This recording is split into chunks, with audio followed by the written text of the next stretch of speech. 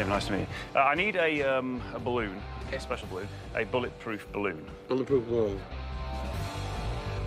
Bulletproof balloons. Bulletproof balloon? Bulletproof balloons. We've just had a look here, but I don't know where they are. Well, now we're in for our talking. That's now we're talking. That's good. Maybe ordinary party balloons will do the trick. Now I just need some people to help me with my experiment. Come with me. Come here, right? Want to borrow you guys for an hour, if that's all right?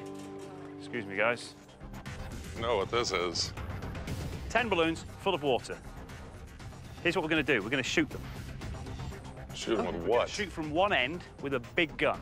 What I want to know is how many balloons do you think will it take to stop the bullet? Stopping a bullet? No. No, listen. happening. I mean, what kind of gun are you going to shoot? That's It's a Magnum 44. oh no. Oh, yeah, Dirty Harry. not. Nope. Okay, well, hang on. Here's my question, guys. I want to know how many of these balloons it will take to stop a bullet from a 44 Magnum. It's not like it's military tactical vest or it's a shield. I mean, it's a balloon with water. It ain't gonna work. It Ain't gonna happen. Okay, so none of them will stop it. Okay? How many are you saying? Seven. Seven of the ten. All right, then. How many do you reckon? I would probably say four. I mean, look at the, look at, they've got Four? some weight. There's, Honestly? Yes, four. Four. I'm going with four. Or will it be none of the above? Do you want to meet Chuck, one of the greatest firearm specialists of all time? Oh yeah. Oh, yeah. I appreciate that.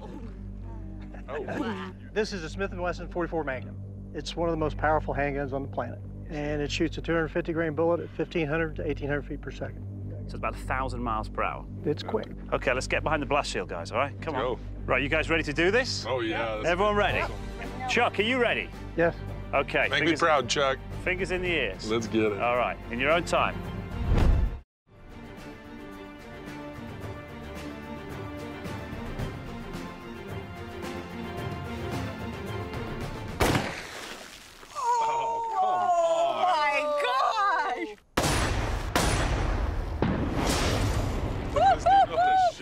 Of you, come here, come here, come here, come. All of them? I don't think so. One, two, three, four. I'll tell you what. Let's see if it's in there. One, two, three, four balloons to stop a slug of a 44 Magnum. Let's have a look at that again in slow-mo. The bullet enters the fourth balloon, but it loses so much velocity that it just can't get through the far side and bounces back inside the balloon. Right, so why? How come? All right, it's all to do with density, okay? As soon as the bullet leaves the gun, it starts slowing down because it's got to cut through the air.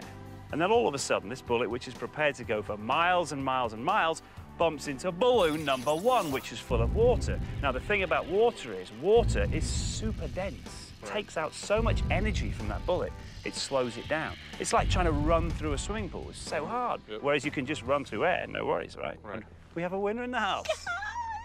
Thanks, Chuck. Down. Devastated.